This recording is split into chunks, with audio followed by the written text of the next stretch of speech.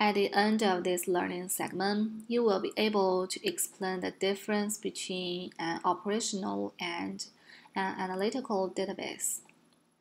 You will be able to describe the anatomy of a relational database using key terms such as table, record, field, primary key, and foreign key. You will be able to explain the three different types of relationships in a relationship, relational database. A database really is just uh, an electronic, organized collection of data. An operational database is really the backbone of many companies and organizations. It's used to collect, modify, and maintain data or transactions on a day to day basis or minute to minute basis. It handles lots of transactions quickly.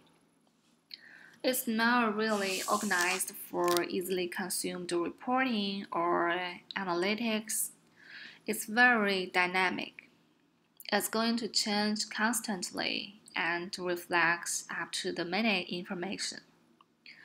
Think of accounting systems and maybe the organizations that you work in. Accounting systems or other sales systems, some databases that capture information that's changing all the time. Inversely, Analytical or reporting databases store and track historical data and time independent data.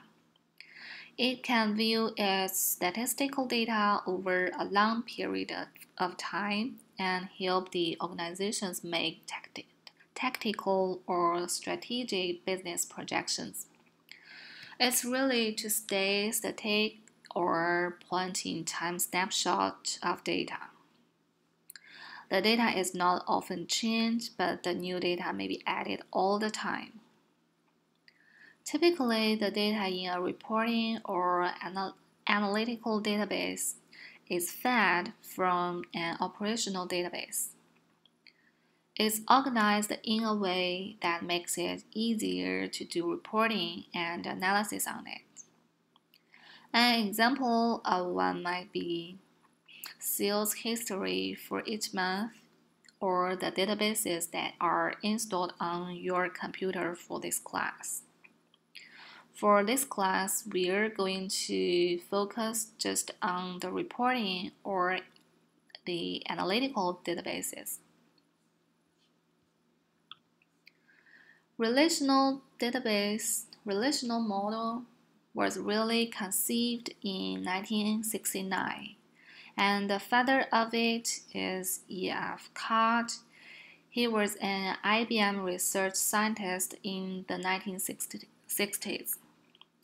When you think about it, it's not really that old. Before then, there were other database models and they're still around. Legacy ones, if you hear the term legacy, think of it as old they probably not supported as much as the newer ones, and new applications are probably not developed on them. But they used to be hierarchical, networked. The issue with those is that they were very complex, and you really have to be a highly skilled data practitioner to make sense of them.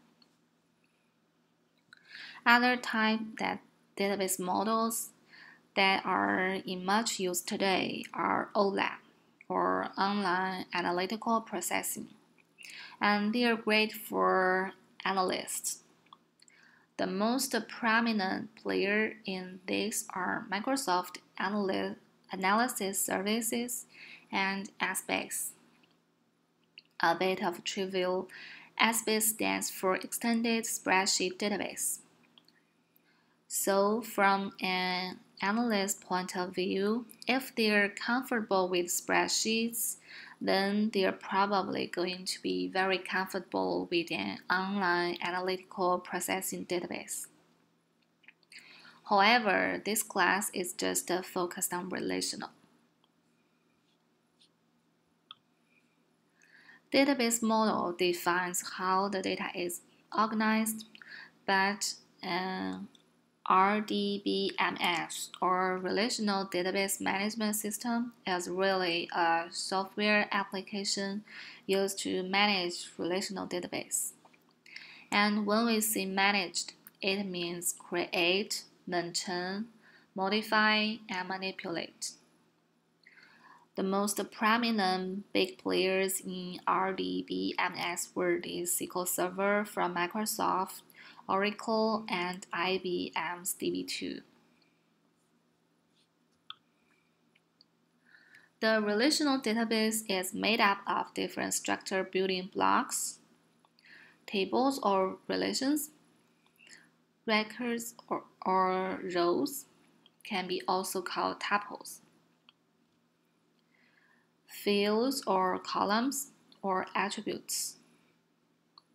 Keys are special fields, views are virtual tables. Diving a little bit deeper into this. This is representation of a table, so you are familiar. If you are familiar with spreadsheets, your spreadsheet could be viewed as an, a table and it has rows or records or records, um, fields or columns. The fields and columns represent attribute. Key are special fields represent unique data. There are two main types, prime, primary and foreign. The primary key can be a field. Typically, it's a field, but it could be a group of fields, and if so, it, it is called a com composite primary key or just a composite key. The foreign key is a primary key from another table and you add it to the table with the existing primary key. But that key is a foreign key to the second table.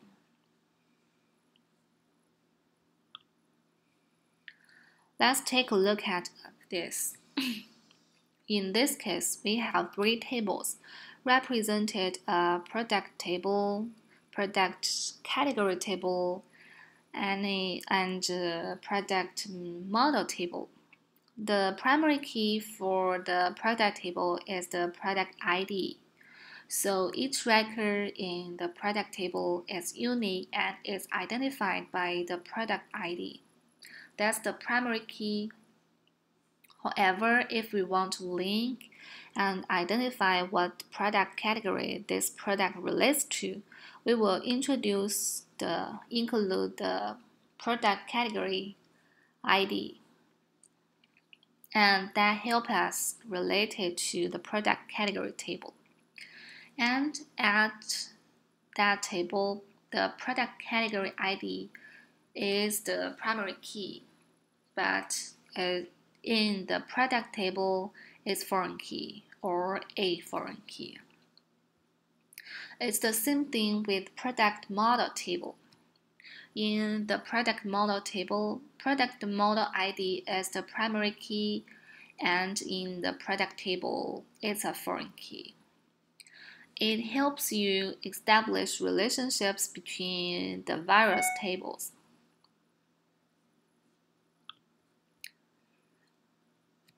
Your relational model can be one to one. Think of it as one student has one major, or it could be one to many. One class has many students, or one student one student can have many classes, or many to many. Many classes have many majors, or many classes can have many students. These are the way you represent those in logical diagram in a database. Views. Views are virtual tables and they're composed of fields from one or more tables in database.